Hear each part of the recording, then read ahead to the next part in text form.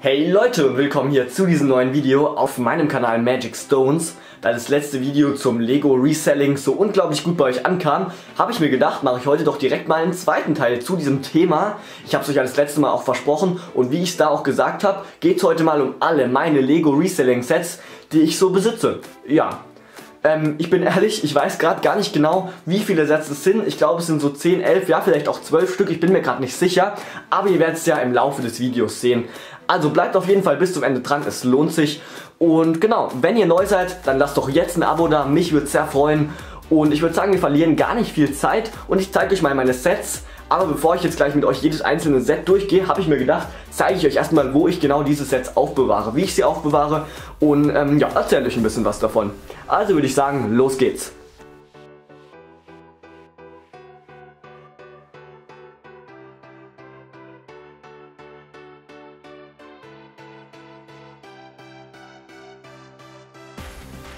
Ja, jetzt nach 100 Jahren, bis der Fokus endlich mal ging, habe ich es jetzt geschafft, euch endlich mal ein bisschen Bildqualität zu liefern. Naja, geht so. Ähm, ihr seht, ich habe hier insgesamt zwei Kartons. Ähm, ach, übrigens, das möchte ich jetzt ganz kurz anmerken. Ich glaube, das ist jetzt der erste Moment in der Geschichte meines Kanals, wo ich nicht den weißen Tisch filme, wo ich sonst immer die Reviews aufnehme, sondern auch mal zumindest einen Teil von meinem Zimmer hier. Man sieht ein bisschen, ja. Und ähm, ja, eine kleine Premiere tatsächlich. Ist mir dann aufgefallen, aber egal, wen juckt's, ne? Ähm, jetzt zum Thema wieder. Ihr seht, ich bewahre die Sets in Kartons auf. Ich kann den auch mal ganz kurz ein bisschen vorholen. Ihr seht, da sind Sets drin. Ja, und ähm, ein paar stehen jetzt gerade auf meinem Tisch, damit es ein bisschen cool aussieht vorne.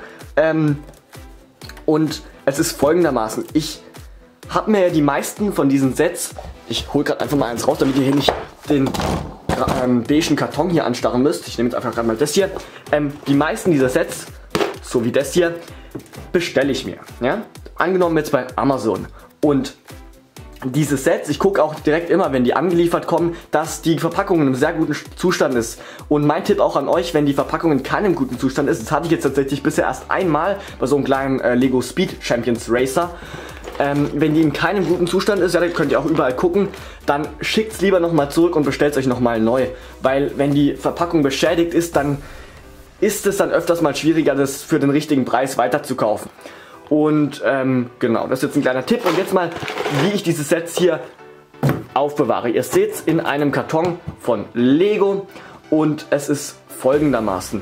Ähm, ich bewahre diese Kartons aus einem, äh, diese, diese Sets aus einem ganz, ganz klaren Grund in diesen Kartons auf. Eben einfach nur, dass sie nicht einstauben. Ich denke, jeder kennt das auch das Problem, gerade bei Lego-Sets. Ähm, wenn man die ins Regal stellt, stauben die nach der Zeit ein. Und so ist es eben bei diesen Kartons hier oder bei den äh, Set-Kartons auch. Und deswegen stelle ich die hier eben einfach in in diese größere Box, in diesen größeren Karton. Ähm, meistens lasse ich sie auch einfach gerade in dem, oder manchmal jetzt wieder hinten zum Beispiel, lasse ich sie auch gerade in dem Karton, ähm, wo die zugeschickt worden sind. Genau, das war jetzt einfach mal alles ganz kurz vorweg. Und jetzt würde ich sagen, zeige ich euch wie versprochen einfach mal alle meine Reselling-Sets. Also fangen wir an mit Set Nummer 1. Ja Leute, ich habe es euch jetzt gerade 100 Jahre lang in die Kamera reingehoben. Vielleicht wäre es dann auch ganz geschickt, wenn wir jetzt mit dem einfach mal anfangen. Das ist hier der Lego Harry Potter, das Lego Harry Potter Set von 2019. Ähm, die Rückkehr von Lord Voldemort stellt eben die Friedhofsszene aus Teil 4, Harry Potter und der Feuerkelch, dar. Ich habe zu dem Set auch schon ein Review gemacht. Und ihr seht, ich habe es mir eben einfach nochmal geholt zum Resellen. Jetzt die Frage, warum habe ich es mir zum Resellen geholt? Ganz einfach, ähm, es sind vier exklusive Minifiguren in diesem Set dabei. Einmal Harry Potter natürlich, dann haben wir Peter Pettigrew alias Wurmschwanz, dann haben wir Lord Voldemort, diese ähm, Auflage von Lord Voldemort ist auch exklusiv und noch ein Todesser. Alles Figuren, die exklusiv sind und somit potenziell auch gut im Wert steigen können. Zudem ist das Set natürlich auch ganz cool. Harry Potter ist ein Lizenzthema, geht also eigentlich immer. Ähm, Gerade auch wenn man sich die alten Lego Harry Potter Sets anschaut von 2005, 2006, 2007 zum Beispiel. Ja, das tut manchmal ganz schön weh, wenn man sich diese Sets bestellen möchte und dann ähm, die Preise sieht. Und ich habe zudem noch ein anderes Lego Harry Potter Set. Ich weiß nicht, ob ihr es vorhin schon ganz kurz gesehen habt beim Intro oder beim Einstieg ins Video. Und zwar ist es hier das andere Set, das ähm, Expecto Patronum Set, auch von Harry Potter. Ähm, natürlich.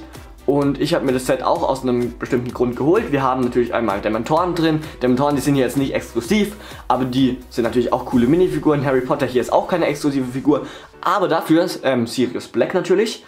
Und wir haben hier diesen ähm, Hirsch, Hirsch, diesen Patronus Hirsch von Harry dabei. Und ich glaube, dass dieses Set ähm, deutlich im Wert steigen kann, auch wieder aus denselben Gründen wie beim anderen, weil es eben Harry Potter ist, ein Lizenzthema und eben auch gerade wegen diesem Patronus, weil das eben das einzige Set ist, wo dieser Patronus dabei ist.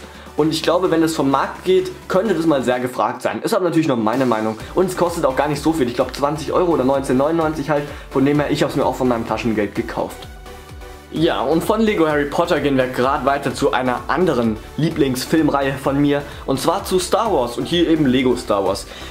Ich glaube, ich brauche euch zu den Sets nicht viel sagen. Ich habe es im letzten Video schon zu beiden was gesagt. Ich habe den äh, Speed Racer da oder Pod Racer von Anakin Skywalker halt zweimal gekauft. Auch aus den besagten Gründen aus dem letzten Video. Ist halt eine ähm, exklusive Figur auch dabei, eben der Luke Skywalker. Ist ein 20 Jahre Set. Von dem bin ich davon überzeugt.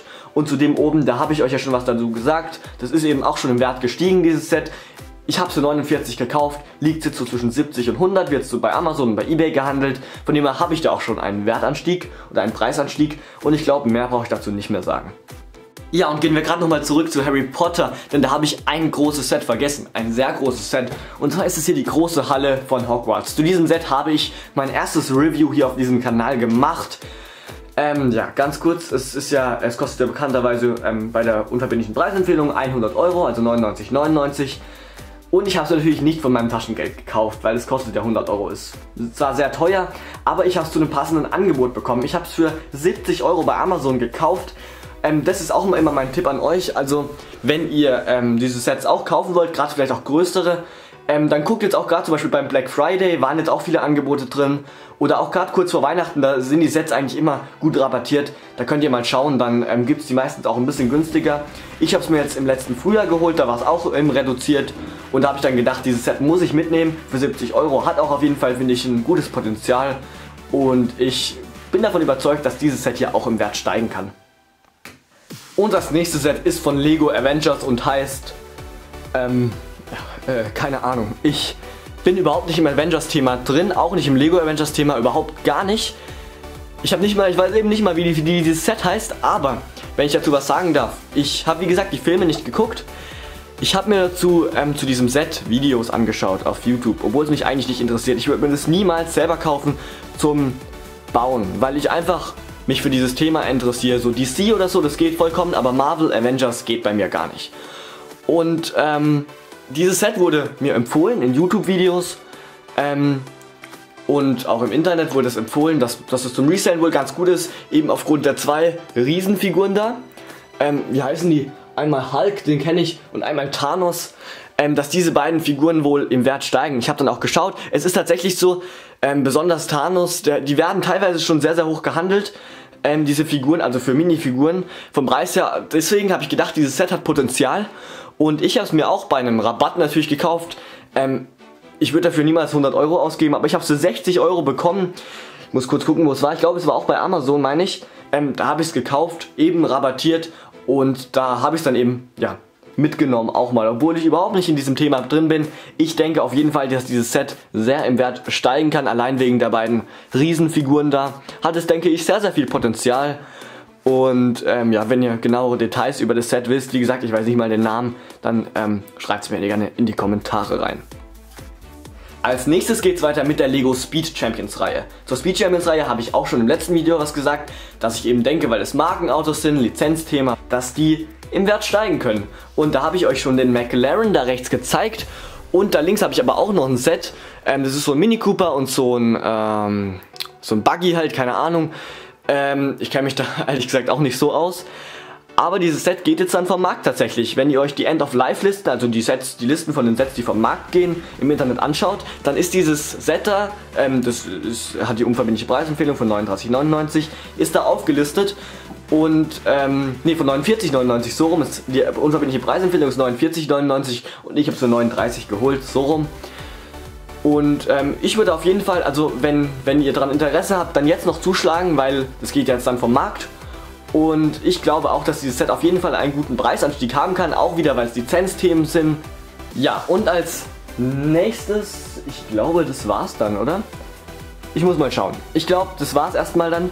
Ähm, von meinen Reselling-Sets habe ich hier dann noch den äh, Lego Ideas, das Lego Ideas Dinosaurier Fossilien Set. Die meisten von euch werden es vermutlich kennen, die öfters mal mit Lego ein bisschen zu tun haben. Das Set sieht auf jeden Fall optisch echt cool aus, ja. Und ähm, ich habe das Glück gehabt, dass ich das geschenkt bekommen habe, aber ich so in diesem Dinosaurier-Lego-Thema nicht, also Jurassic World finde ich cool, aber so ich, das Set spricht mich irgendwie nicht an und deswegen habe ich gedacht, hm, ich stelle es mal einfach auf diese Seite und guck mal, ob das eine Wertsteigerung haben könnte. Heißt, ich habe dafür insgesamt 0 Euro ausgegeben ähm, und werde auf jeden Fall das mit einem Profit verkaufen dann, klar. Aber ähm, ich denke, dass dieses Set auf jeden Fall, allein auch weil es Lego Ideas ist, ähm, einen guten Preisanstieg erzielen kann. Ich bin mal gespannt. Ähm, ich bin mir hier aber allerdings nicht zu 100% sicher. Da bin ich mir gerade bei den Star Wars 20 Jahre Sets, bei den Speed Champions und bei den Harry Potter Sets ein bisschen sicherer. Aber hier kann ich eben auch ähm, keinen großen Verlust machen. Von dem her ähm, habe ich das eben auch einfach in meine Lego Reselling Sammlung mit aufgenommen. Ja Leute, und das waren dann mal einfach alle Lego Reselling Sets von mir und ich weiß aber immer noch nicht so ganz, wie viele genau das jetzt sind. Wenn ihr mitgezählt habt, dann schreibt es mir unten in die Kommentare rein. Und ich glaube, das war's dann für heute. Sonst habe ich nichts mehr und wir hören uns dann das nächste Mal auf jeden Fall wieder. Bis dahin bleibt dran. Ciao.